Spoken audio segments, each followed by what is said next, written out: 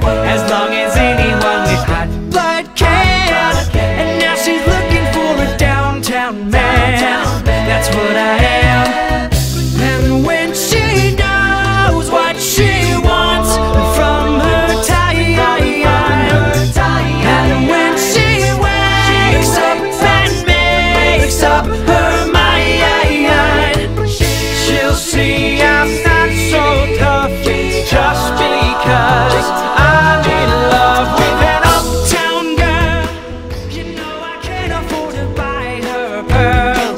but maybe someday when my ship